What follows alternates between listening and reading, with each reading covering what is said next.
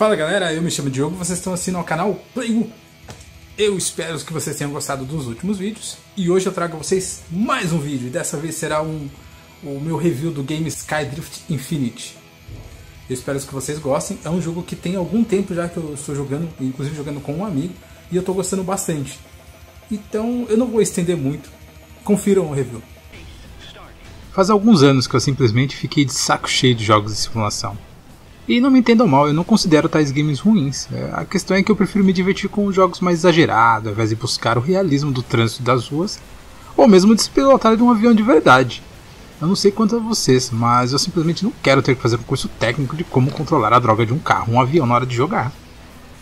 Por sorte, me deparei com Skydrift Infinite, que vai na contramão do realismo e foca na diversão arcade, que eu tanto aprecio eu posso dizer que descobrir o game foi uma grata surpresa.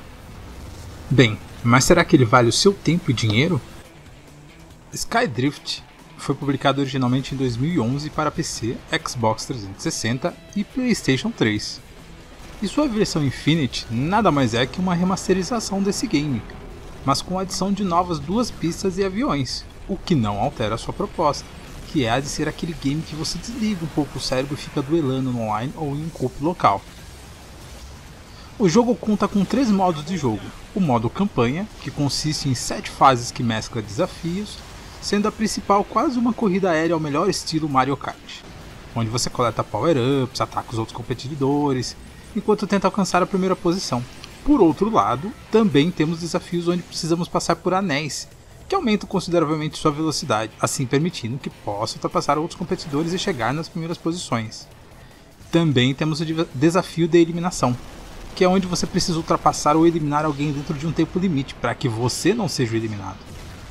Tais desafios são bem divertidos e conseguem entreter bastante, mas, para mim, o que realmente faz o game brilhar é o seu multiplayer local. Ele permite que você jogue com até 4 pessoas ao mesmo tempo, sentados no sofá. Existe o multiplayer online. Infelizmente, eu não encontrei partidas, pelo menos nas vezes que eu tentei jogar online mas eu tenho jogado local com um amigo e posso dizer para vocês que tem sido extremamente divertido. O fato dos controles do game serem simples permite que você domine rapidamente. Sendo assim, mesmo aquele seu amigo que não está acostumado a jogar jogos, ele vai conseguir se localizar e vai se divertir muito, se contorcendo todo enquanto tenta realizar manobras e tentar acertar os outros adversários. O jogo conta também com cenários muito bonitos, principalmente a pista do vulcão, que você pode voar rente à lava sem medo algum de explodir.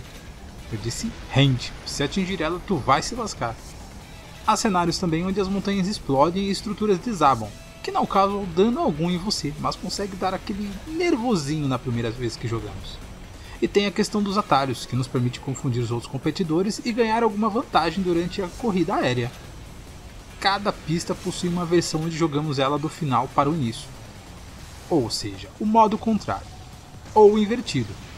Então aquela pista principal que pode ser um tanto sem graça, a sua versão invertida dá um pouco mais de fôlego e até apresenta uma visão diferenciada, o que pode torná-la um pouco mais divertida. Mas mesmo com pistas adicionais em comparação ao game de 2011, ainda acho que poderiam ter colocado mais pistas, pelo menos posso afirmar que a trilha sonora do jogo é interessante e pode elevar um pouco a nossa adrenalina durante as partidas, fazendo do game uma experiência muito boa, por sinal. Skydrift Infinite não inova, ele apenas recicla fórmulas que já conhecemos na tentativa de criar uma experiência só sua.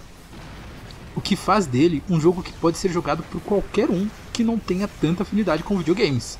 Sabe aquela reunião de domingo que nós faríamos se não tivesse um momento delicado no mundo? Pois então, Skydrift Infinite vai garantir altas risadas durante a jogatina. Por outro lado, seu modo campanha pode realmente se tornar cansativo devido por ser repetitivo. Claro, é legal ter um game para desligar o cérebro e simplesmente jogar por algumas horinhas, mas eu recomendaria se você quer ter um game para jogar com amigos, que certamente vai tornar Skydrift Infinite um jogo que você não vai querer tirar tão cedo do HD do console. Afinal, jogos arcades são sempre muito bem-vindos. Mas rapaz, eu, eu acho que se eu vender isso aqui, eu consigo comprar a casa e um carro novo. Putz, isso tá quebrado. Eu posso dizer que quebrou na locadora e inflar o preço. É, tá... E aí, pessoal.